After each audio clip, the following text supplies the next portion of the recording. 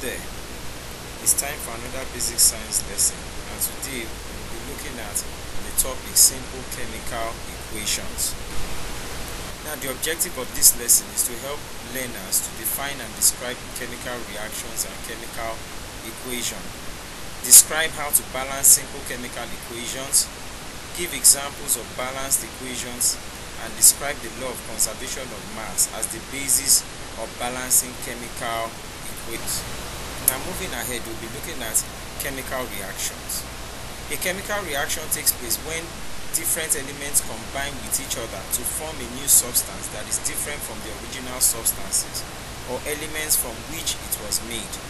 Now it involves the production of a lot of energy. A chemical reaction is a chemical change.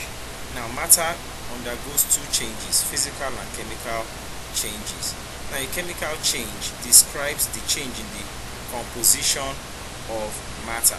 Now if you look at this uh, image right here, you can see that we are describing the four basic types of chemical reactions. There are others, but these four basic types are the ones that we are going to describe.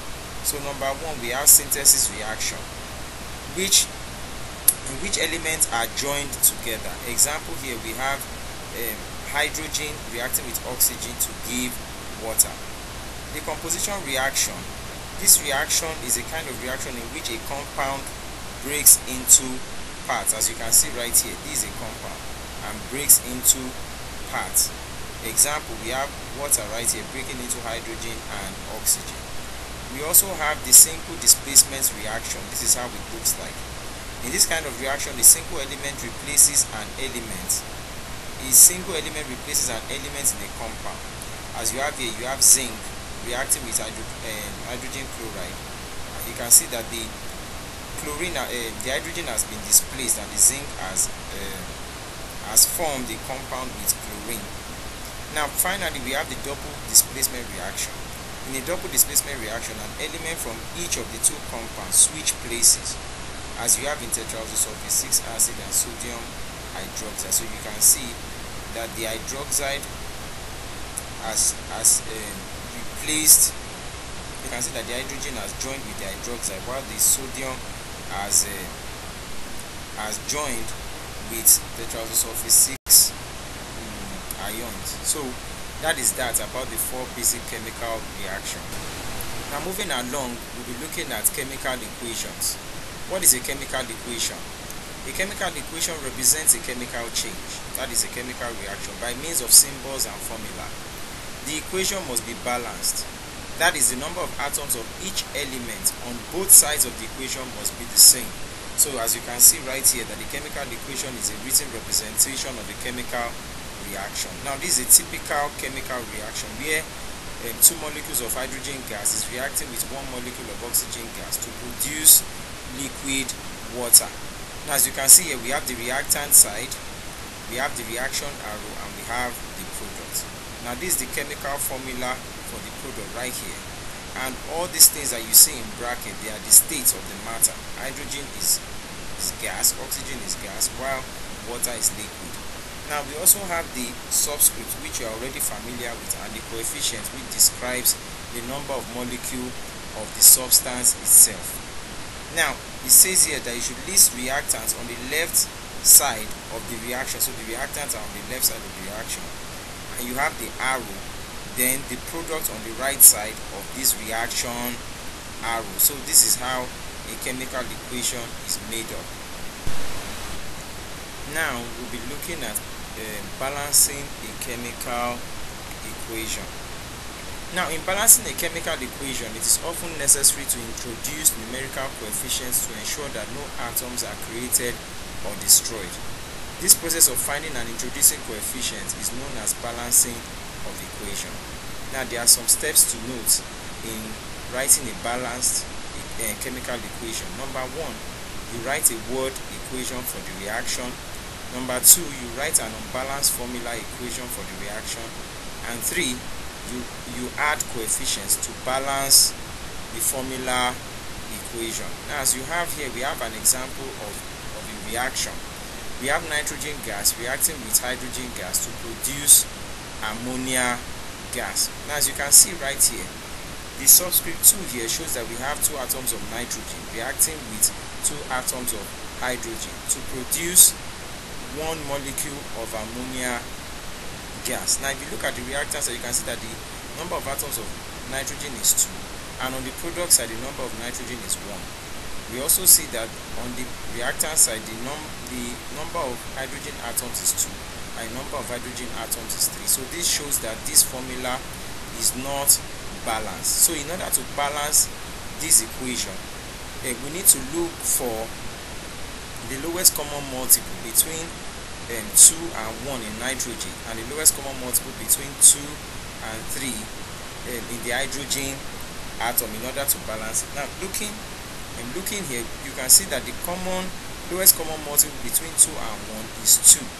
So in other words if you have 2 right here if you multiply by 1 it will give us 2 and if you multiply 2 by 1 it will still give us 2. So since uh, this one indicates that it is 1 so there's no need for us to add anything here but if we put 2 here you can see that we have 2 nitrogen on the product side and 2 nitrogen on the reactant side which shows that nitrogen is already balanced by adding these two coefficients right here.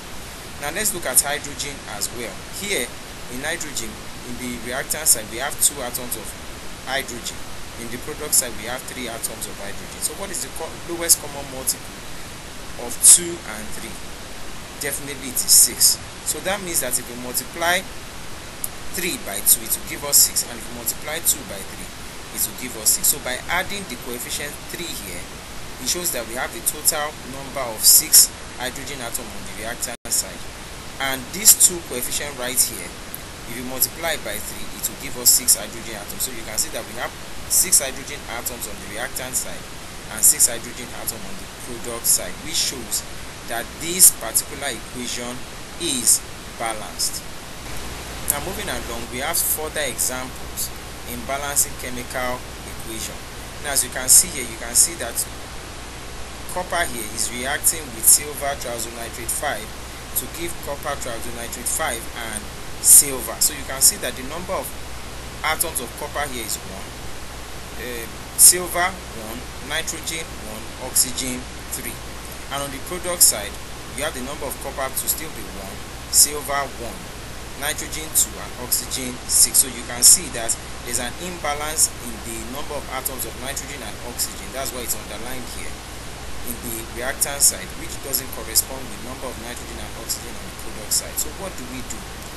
Now, if you look at uh, if you look at uh, nitrogen right here, the number of nitrogen here is 1 number of nitrogen here is 2 now the lowest common multiple for for 1 and 2 is definitely 2 so if you put um, two um, two coefficients here the coefficient of 2 here you can see that the nitrogen is already balanced because you have two nitrogen here and two nitrogen here. So which means that our nitrogen is balanced. But now our um, our silver and the oxygen is also balanced because two we have three um, oxygen atoms times 2 which will make it what? 6 so you can see that our nitrogen and oxygen is already balanced but you can see that silver has been affected on the reactant side so all we need to do is uh, find the uh, lowest common multiple between 2 and 1 which we know that is 2 so all we just need to do is add two coefficients here then you can see that our silver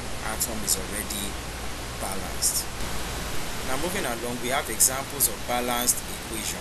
So as you can see right here, this is the unbalanced equation. This is the balanced equation. So if you count the number of um, the atoms of each element on the reactant side, you find it to be equal to the number um, um, number of atoms of each element on the product side. So that is what we have here. I, I want to pause this video and examine uh, the number of atoms, the total number of atoms on the reactant side to see whether it corresponds with the total number of atoms in the product side. It will help you in your understanding. Now moving along, let's look at the basis for which we balance um, chemical equations, which is the law of conservation of mass.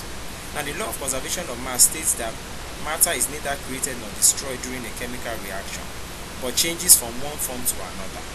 It also states that in a chemical reaction, the total amount of matter remains constant. Balancing a chemical equation is possible due to the law of conservation of mass. It is the principle behind balancing of chemical equations. Now, as you can see here, we have methane reacting with um, oxygen gas to form carbon dioxide and water. Now, if you see the, re um, um, the relative um, um, atomic mass of carbon, hydrogen, oxygen, if you put them all together, you can see that methane here is 16. Uh, oxygen here we have sixteen therefore adding them together it gives us 80 grams. Now on the product side if you have all if you add all the relative atomic masses of of um, elements in carbon dioxide and water it will still give us exactly 80 grams. So you can see that the law of conservation of mass has been in balancing uh, chemical equation. You can see that the law of conservation of mass has been what? Has been adhered to because you have 80 grams in the reactant side we also have 80 grams in the product side which shows that the law of conservation of mass is relevant in balancing chemical equations. Now moving along we've come to the end of the lesson. Let's take a quick look at the summary. A chemical reaction takes place when different elements combine with each other to form a new substance that is different from the original substances or elements from which it was made. There are various types of chemical reactions such as combination reaction, combustion reaction, displacement reaction, decomposition reaction, and so on. A chemical equation represents a chemical change, that is chemical reaction, by means of symbols and formula. In balancing a chemical equation, it is often necessary to introduce numerical coefficients to ensure that no atoms are created or destroyed. This process of finding and introducing coefficients is known as balancing of. Now before we go, I want to pause this video and attempt to balance this uh, chemical reaction. The spaces has been provided so you need to write it down and balance it so as to find out how much of the lessons that you have actually understood. Please don't forget to like, share, and subscribe. And I'll see you again in the next lesson. Bye bye.